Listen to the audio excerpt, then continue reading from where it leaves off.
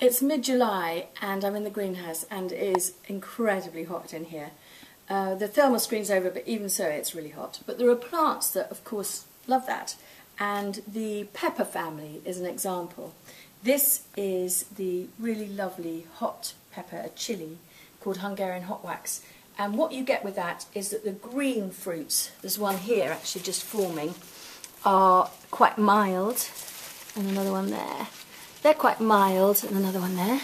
But when they turn red, they get quite hot. So it's a very multi-purpose, and it's incredibly prolific.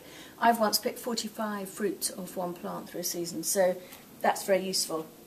This is a sweet pepper um, called Padron, which is, is sort of like a sweet little shape like that. That's not quite ready, it'll swell up a bit more than that.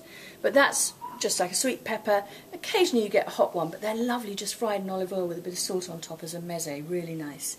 And then they're surrounded by this beautiful tagetes called tall Scotch prize, which is protecting against whitefly. And over here I've got another whole family of plants that love it in the Mediterranean heat. These are the scented leaf pelargoniums, which we use for tea. And then a Mexican plant here, the zinnia, giant cactus dahlia mix here. And you can see, I mean, this is already about four foot and it's mid-July.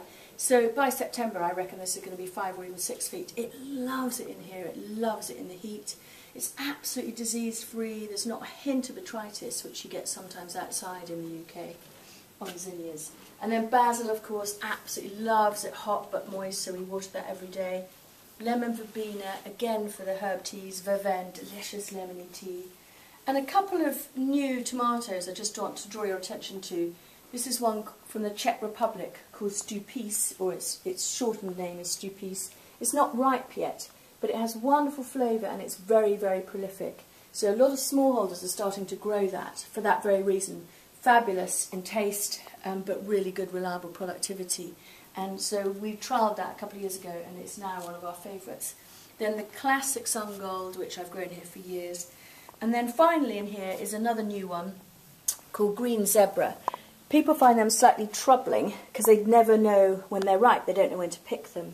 But you just trust your fingers, just give them a squeeze, and as soon as they begin to soften a little bit, you want to eat them. Don't leave them till they're mushy. But the beauty of that is uh, when a tomato salad just chopped up on the plate, they look fantastic. The contrast to the red just makes a really beautiful plate.